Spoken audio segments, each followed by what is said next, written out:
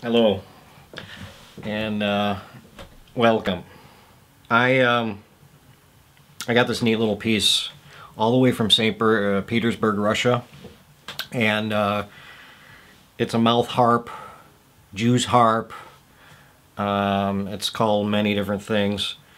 And this one was very well made. I for 15 bucks. Uh, I had to wait a while. It was like I don't know, three weeks but it, it's worth it. Um, and they sell these all over the place here in the States too. It's, you know, um, nothing big. And I come from an area where, uh, in Eden, New York, where they make um, the kazoos, which is a fun little toy that most of us have had at one time or another. Uh, but that's where they come from. Um, anyway, that's neither here nor there.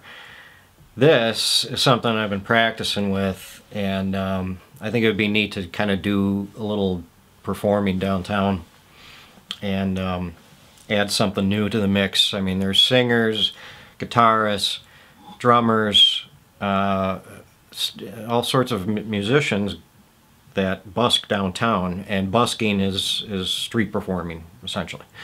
So I wanted to do something unique, so this is where the mouth harp comes in.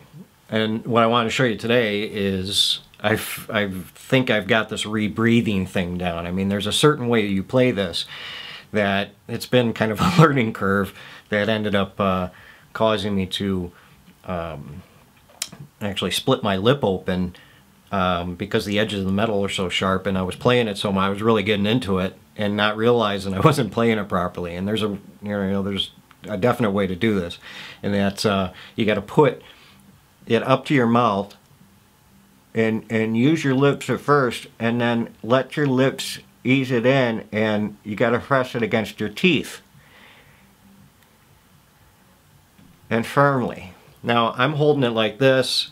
Uh, majority of the time I'm holding it like this uh, because I can put my thumb here and my pointer finger and my middle finger at the bottom and uh, goes a little something like this. Again pressing it against my teeth